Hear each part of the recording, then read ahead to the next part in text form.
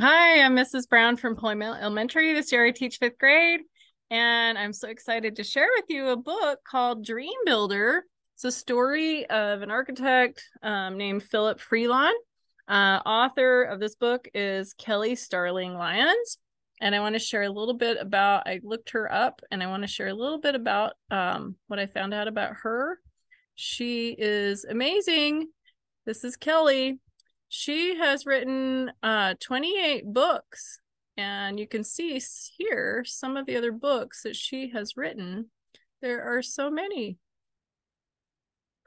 All right so i'm going to start the book. Um here it is dream builder. Okay dream builder. Vision and Phil Freelon's world. Art breathes dreams to life.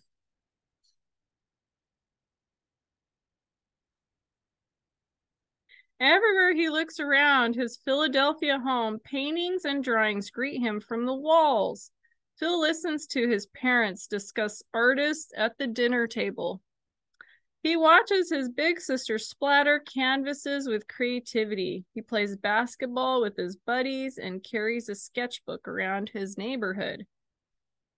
Buildings, roses, people passing on the street, Phil sees them all and draws clear and strong. But at school, what Phil sees is out of focus. Letters on the page don't spring to life as words. His mom, a teacher, tries her best to help him. M M A M man. What does it say? She asks. Phil lowers his head and his heart sinks. His big brother and sister are great students. His dad is a su- successful businessman. Why can't he see how to read?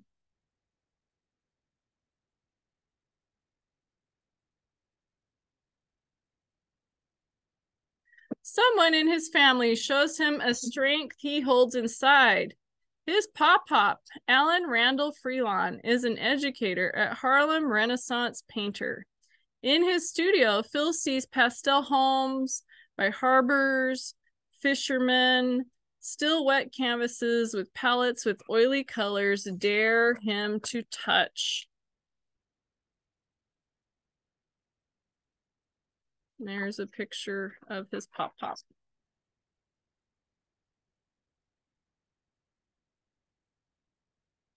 One day, the two of them walk through the woods.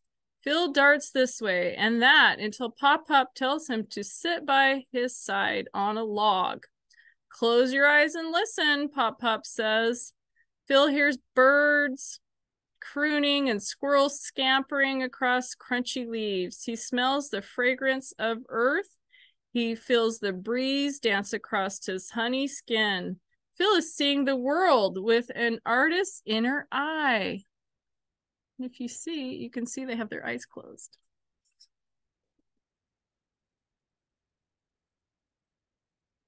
Foundation. As Phil grows older, his special sight deepens. His thoughts have color, shape, and form. Math and science fill him up like art. Phil can see strings of numbers and formulas in his mind. Reading takes longer to master. His mom and sister recite Shakespeare for fun, but Phil freezes when called to read aloud in class. He struggles to find joy in books until he re- realizes that words can create images too. In time, those story portraits show him new worlds just like art. Bill explores different media. He doesn't just draw, he writes essays and poems. He can see the shape of a car inside a block of balsa wood. He builds using his senses to create. When his father gives him models after business trips, Phil spreads pieces of battleships, cars and planes out like a puzzle. He doesn't need directions to know where each piece should go. Soon his paintings, sculptures, and models begin to reflect the times. He carves African masks from bars of ivory soap. Black is beautiful. Say it loud. I'm black and I'm proud. They're not just mottos, they're beliefs that live in him.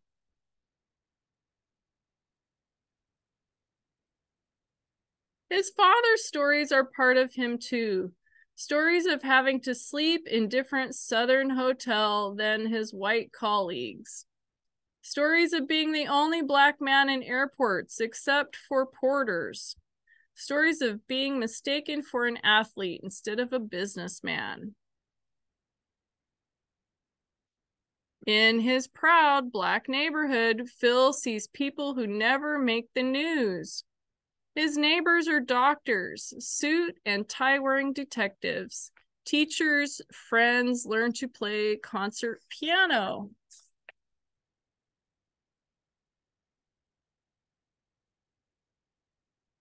Phil hears a chorus around the nation shouting for justice and equality.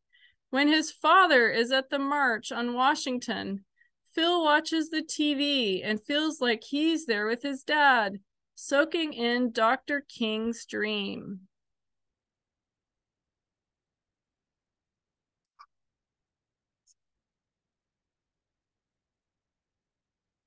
frame. At Central High School, Phil signs up for a drafting class. When the teacher asks the students to look at the front of a machine and draw the other three sides, Phil gazes deep inside and can see what's out of view. He becomes the top student in his art and drafting classes. He wins industrial design competitions.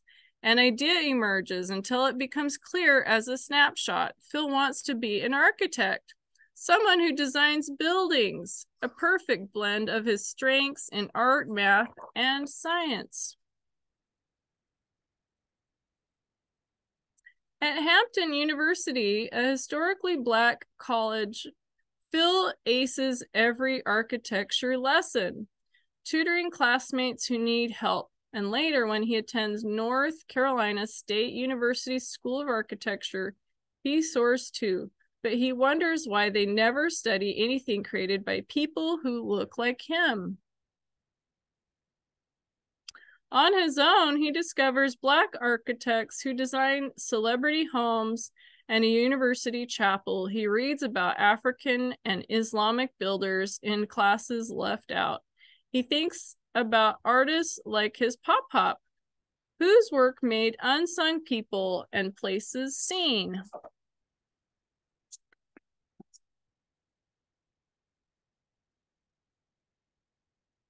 One summer, while Phil's still a student, he takes the lead in designing a solar greenhouse in Virginia. As the structure grows and glistens, a dream begins to take shape. Phil wants to make the world better through what he creates.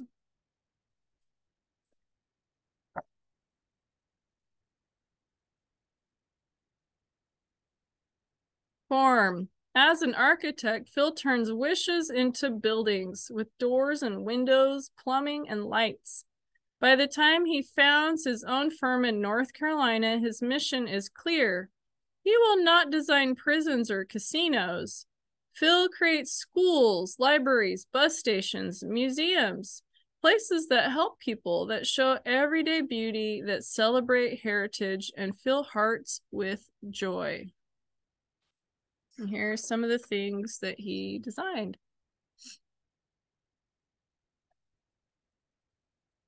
Tenley Friendship Neighborhood Library in Washington, D.C., Durham Station Transfer Center in Durham, North Carolina. Reginald F. Lewis Museum of Maryland African American History and Cultural Culture in Baltimore, Maryland. The Nation Center for Civil and Human Rights in Atlanta, Georgia. Then one day, Phil hears about a dream imagined decades before he was born. In 1915, 50 years after the end of civil of the Civil War, people dreamed of a na- national memorial to honor black soldiers and sailors. That dream grew until they could see a museum that would rise like a phoenix on the Washington Mall. A museum to honor Black achievement, a museum to show Black resilience, strength, and pride. For decades, that dream was deferred, but in 2003, a national commission makes it come true. A museum will be created that documents Black history, life, and culture. Phil and architects around the world want to design it.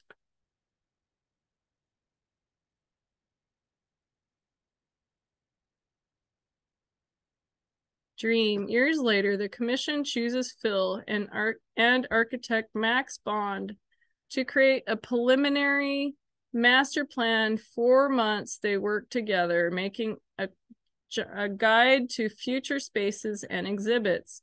In 2008, an international competition is announced. The winning team will get to design and build the museum. For this project, Phil and Max need a dream team they want to include someone whose work is known beyond the United States.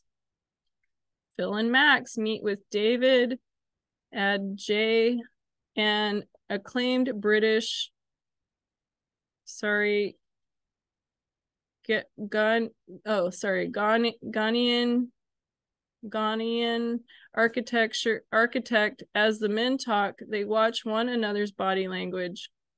Can they unite?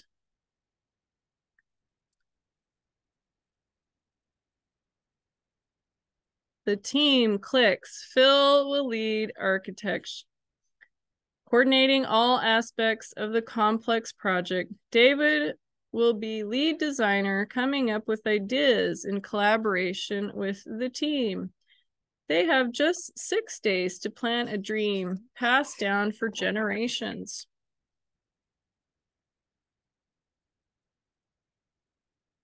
They huddle around tables, talk on phones for hours, send countless emails, and dig deep.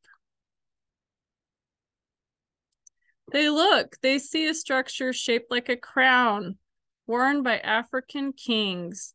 They see ironwork patterns forged by Black artisans. They see a porch of welcome. And they listen. They hear the ocean, rocking ships of stolen people they hear footsteps marching for freedom and justice. They hear voices of unsung, unsung heroes waiting for their day.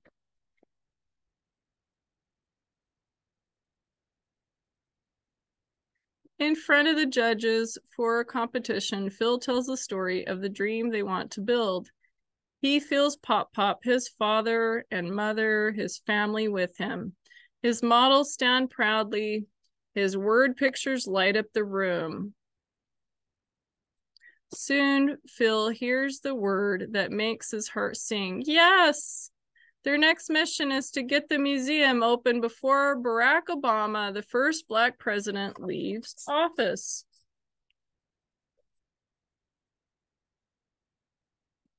In 2016, a century after the dream was born, they deliver. There's a picture of the building.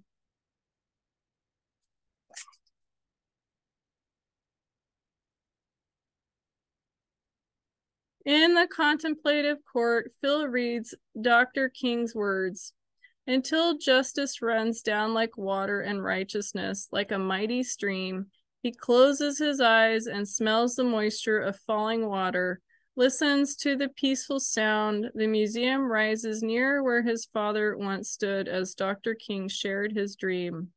Phil thinks of Pop Pop, who taught him to see like an artist, his parents, who encourage him to create and imagine. He thinks of how every experience led him to this moment. Phil Freelon, the kid artist from Philly, has become a builder of dreams.